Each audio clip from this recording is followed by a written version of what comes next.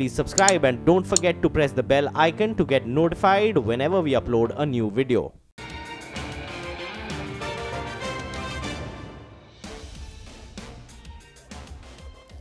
Hello and welcome to Your Stocks. I'm Nigel D'Souza. With me is Sumera Abedi. And as we speak, we're seeing a bit of a recovery, Sumera, from the low point of the day. We're thanking God for small mercies nowadays. In fact, from the lows, we've recovered only around 25 points, but we'll take that with both hands. Maybe, in fact, a fight for 10,200. The bulls will be happy because at one point of time, we even breached the 10,170 odd mark. Also, keep an eye out on the Dow futures. Well, that's recovered as well. It was down close to around 400, 410 points. That is now indicating a cut of around 250 points. So the final 90 minutes are going to be extremely crucial. Nonetheless, breadth of the market not good at all. Only 287 stocks advancing on the NSE that compares with close to around 1,800 stocks that are declining. Crisscross lines come up for you on the screen. Hey, Sumera. Hi, Nigel. Uh, good afternoon to you as well. So let's get started then. These are our top stories. Global weakness hits Dalal Street, but key indices come off the day's low. Mid-caps take a bigger knock today with the index now down close to a percent. And Asian markets and European markets, they are lower as trade fears return after White House Chief e Economic Advisor Gary Cohn's resignation. Banking space reels under pressure yet again with Nifty PSU Bank down over 3%, uh, while the Nifty Bank loses nearly a percent. Credit Suisse report says that large treasury losses of about 20,000 crore rupees are likely in the fourth quarter. And uh, the TDP looks uh, at the option of withdrawing from the NDA after they remain unconvinced by the government's assurances on the special status for Andhra Pradesh. Sources tell CNBC TV 18 that Chandrababu Naidu will take a decision on the alliance in Amaravati. Okay, all right, keep an eye out on the markets. Well, we're still holding closer towards uh, the 10,200 mark. In fact, we're just holding about that level. So good going. At least we're seeing a bit of a recovery as we speak. ITC, that's the heavyweight in there. That's putting in a bit of a fight over there. So um, keep an eye on that stock. In an otherwise weakish market, that stock's moving high. And in fact, it's holding one end up. Also pull up Bajaj Auto.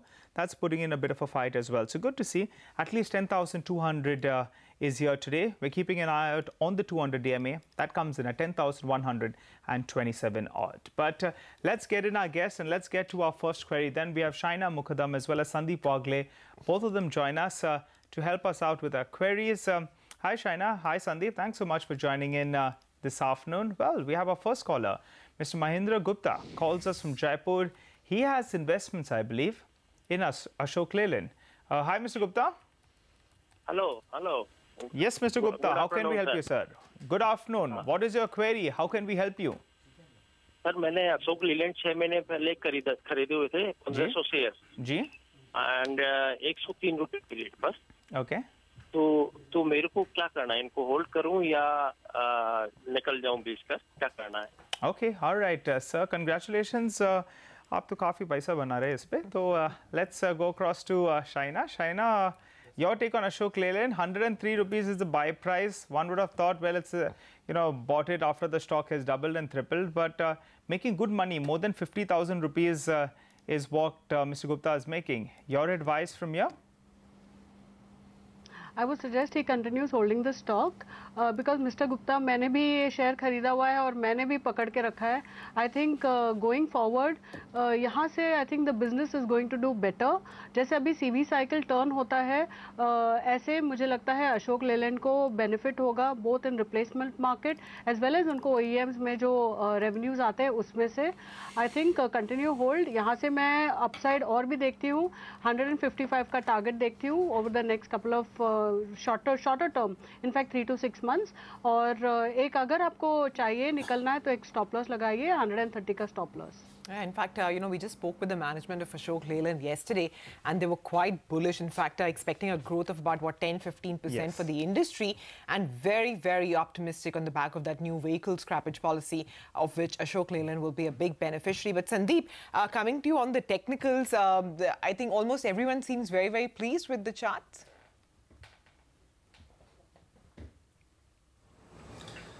Absolutely, Sumera. I recommend a stop loss of 130. 130 is a very crucial level. It has been able to hold above that, and even in this falling market, this is one stock which is holding. So that is very positive for the stock. And talk of the next uh, target over the next 12 to 15 months, I would uh, look at a target of around 165.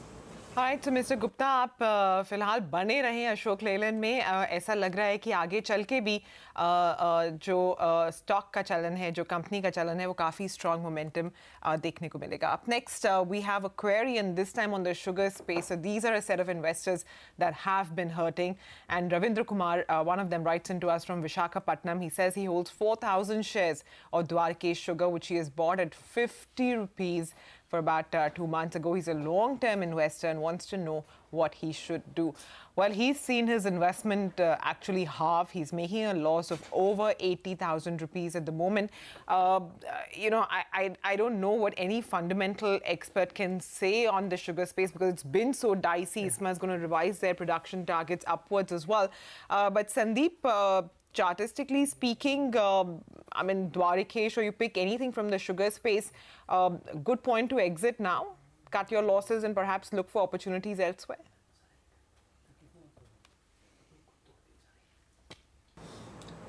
Well, Sumera, yes, uh, this bounce that we are witnessing in this space have been very, very weak and feeble. I think maybe now, maybe on a bounce 34 to 36, I would say he would be lucky if he gets that, he should exit and on the downside I think below 25 the stock can still go down further so exit whether now or on a bounce that is his call okay all right uh, so that's the view coming in on Dwarikesh Sugar well we'll slip into a short break before we do that we were looking at 10,200 just a short while back. Just take a look at what's happening. That's the kind of selling pressure we've been seeing over the last few days, and that's really worrying.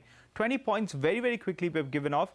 IndusInd Bank is a stock that's, uh, that's suddenly taken a bit of a knock, and a couple of these heavyweight stocks, Reliance Industries and ICICI Bank, both of them have seen a bit of a downtick. Just take a look at that. IndusInd Bank was holding one end up.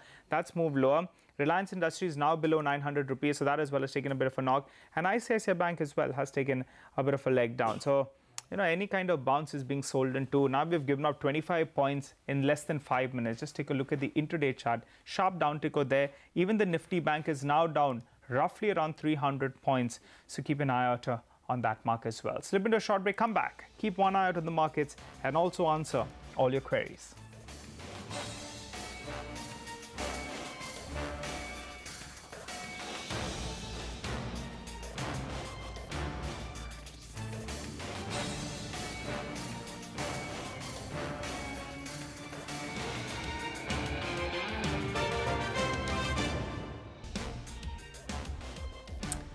Welcome back. Uh, well, it uh, seems like the market is, uh, uh, uh you know, slipped back into uh, pretty much the lows. so it's about 230 points now on the Sensex gone. 80 points down on the Nifty. So we're back at that 10,170 odd mark and the mid cap index down about a percent and a half. So naturally, a lot of investors are a worried lot. And one of them, in fact, joins us now on the show. R. Prabhu calls in from Tamil Nadu with a query on Jayant Agro. Hi, sir. How can we help you? Yeah, hi. Very good afternoon. Good afternoon. Um, I'm holding uh, Agro at the rate of 5 and 6 for the past six months. Okay. Uh, I'm a long-term investor, so should I accumulate more now or should I lose my uh, um, uh, loss? I, I, get your point, Mr. Prabhu. Just wanted to check, uh, do you have a portfolio of other stocks? I mean, any particular reason that you chose Jayant Agro? Uh, this is, uh, you know, uh, I get this suggestion from my broker, so that's why I have bought this. Okay, uh, Shaina, let me come to you first on this. I mean, uh, you know, the stock doesn't have a lot of volume actually, so thinly traded stock, uh, but uh, it's not done much actually this year. Uh, would you advise uh, that Mr. Prabhu remain invested in the hope that he can cover up his losses? Yeah, I think he should because uh, the numbers are improving uh, quite well. And if we saw the last quarter, they have shown a very good improvement in overall uh, sales. And I think uh, with the export business picking up, uh, they are into shrimp exports, other agro exports. I think uh, this should be this should do better going forward. And even if you look on valuations on a EV to EBITDA basis, it's about 13 times, which in my view is not expensive. So I would continue holding on. I would keep a target of around 400 rupees and do keep a stop loss of around uh, 330. Okay, target of around 400, stop loss at 330, but the markets are calling for our attention yet again. Suddenly, we're moved to the low point of the day. A whole host of stocks are selling off. Just take a look at Dr. Reddy's. That stock is moved lower, but the Nifty moves lower when a couple of heavyweight stocks they get a bit of a knock. So let's pull up, uh, you know, some of these heavyweight stocks. Pull up the Nifty Bank actually. That's down 350 points and it's fallen very, very rapidly. ICICI Bank as well as Axis Bank, they have taken a hard knock in the last few minutes. Even Axis Bank has moved to the low point of the day and SBI. So you pull up all those three banking stocks, they move lower. The mid cap index, as is the breadth of the market, wasn't great. It's getting even worse as we speak. Not looking good at all. Just take a look at that. We moved to around uh, 10,160 odd. At the start of the show, we were flirting with 10,200 and we were wondering whether you know there was a bit of a recovery on the cards. Clearly, that's not happening as we speak. Um, so we'll keep an eye out on the markets for the time being. Slip into a short break, come back. We'll continue our focus on the markets. Stay with us. Welcome back then. Keep an eye out on Bharti Airtel. The stock was down 4.5%. It's recovered a goodish bit from the low point of the day. So keep an eye out uh, on that one as well. Just take a look at that. Smart recovery is what you're seeing, at least from the day's low. But uh, our next uh, query is already with us. Mr. Shanmugam, he writes to us from Kerala. He holds around 500 shares of United Breweries at around 846, uh, uh 849 rupees for the last nine months. Medium term investor wants to know whether or not to hold or sell. Um, Sandeep, uh, what's your take on this one? Making good money, more than a lakh, uh, hang on to the beer, or you think, um, you know, book out?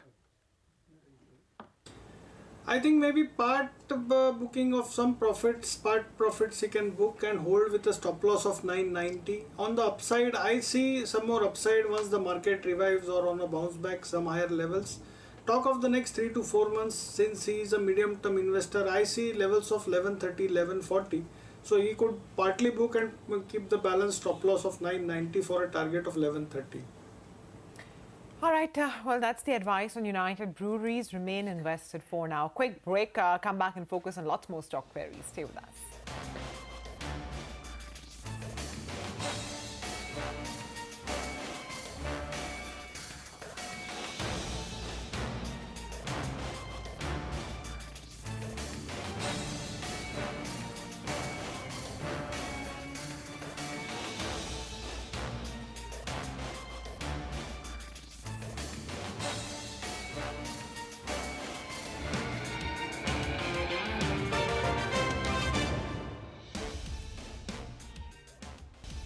Welcome back. Then the markets are struggling. Yes, we're virtually at the low point of the day, but I'm searching for some green and VST Tillers comes up uh, on the screen. So you pull up the intraday chart volumes are picking up over there and it's done quite well. You'll say, well, the last few months haven't been good for the markets. Take a look at something like a VST tillers and tractors. The stock is giving you 30% returns in the last six months. It's been a slow mover. I remember for the previous three years, it didn't move at all from around the 1900 odd mark. Now, in fact, the street is taking note of VST tillers everyone spoke about. Now, the tractors, you know, that's being noticed and we have seen growth of them and the management on our channel itself, they're looking at around 14,000 units for uh, the coming year. That's FY19. So they should do only around 9,000 units. This year they should wind up with around 11,000 units. I'm talking about tractors. And next year it could look like around 14,000. And that stock, in fact, even in today's trading session, an otherwise dull market, looking quite good. The stock is spiked up. Intraday chart as well should come up for you on the screen. Well, we have Jaideep who writes to us from Gujarat. He holds around 700 shares of NBCC at a price of around 276 since the last one year long-term investor wants to know whether or not to hold or to sell. Shaina, coming across to you. Well, NBCC at one point of time, everyone wanted to get in. Unfortunately, uh, the query that we've received, you know, they as well have gotten at a very high price. What would your advice be, Shaina? Yeah, actually, the expectations are very high from NBCC because if you see the order book position, they've already got something like 80 crores of orders, and with the support of the government, I think uh, they're talking of order book addition of almost about 30,000 odd crores over the next one odd year. But uh, the the disappointment is coming from the numbers. If you saw the last quarter numbers, the numbers have really been disappointing. Uh, it's almost flat to negative on almost all fronts. So to that extent, I think one really has to be, um, and you know, and really has to have faith and continue holding. I think this is one stock in the space of uh, real estate development that is likely to do uh, good over the medium to longer term, given that there are a lot of projects for redevelopment that will come back, come up, especially in the government space. So I think you, one needs to hold on if you're a long-term investor. Uh, the chart looks a little bit weak, weak for the shorter term, in my view. All right, so that's the word on NBCC. Remain invested, and the target that Shaina has is at 220. Up next, Jay Krishna writes in to us from Hyderabad. He says he holds 2,000 shares of Adani Power Ouch at 47.35. He's been holding on for about two months. He's a short-term investor and wants to know what to do. So two months, a nearly 40,000 uh, rupee loss. Uh, Sandeep, any words of advice? Uh, sell is the advice. Maybe now maybe on a bounce. Possible that he may get a level of 30 32 as a bounce but that would only be a bounce and he needs to be exiting the stock. On the downside were the stock to break 25 it can go down to 20 or below 20 very fast. So that should be the stop loss. Okay all right. Uh, thanks so much for that uh, sandeep as well as shaina Thanks for joining in today and uh, answering all our queries. But on that note, we'll have to wrap up on the show. You do remember to keep sending us your queries by posting it on our Money Control message board. You stay with us. Closing bell comes up next.